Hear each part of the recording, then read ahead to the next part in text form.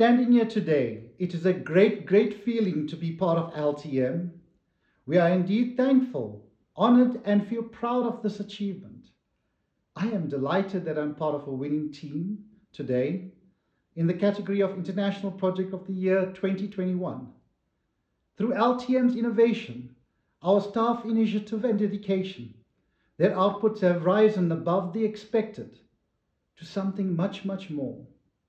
LTM provides clean energy and water to the most needed people, enhancing the quality of their lives. With access to renewable energy and clean water, you can have food which completes the nexus of life.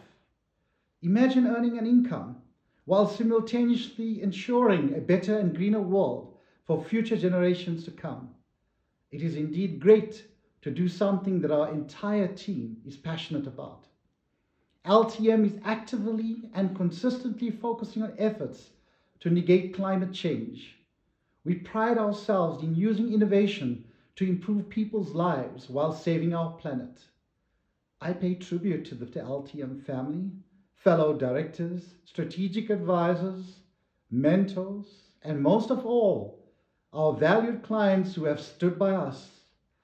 This is really an amazing time for the energy industry, in particular the green economy.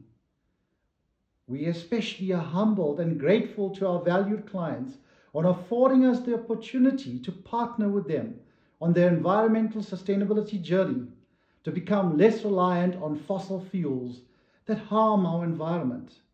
It is indeed most rewarding that LTM's efforts to help secure a greener future for our country have been recognized internationally.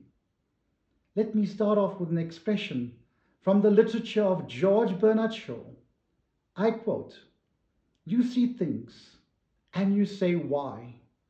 But I dream things that never were, and I say why not? At LTM, we continuously strive to improve and ask why not? In closing, I sincerely thank the association for appreciating our work.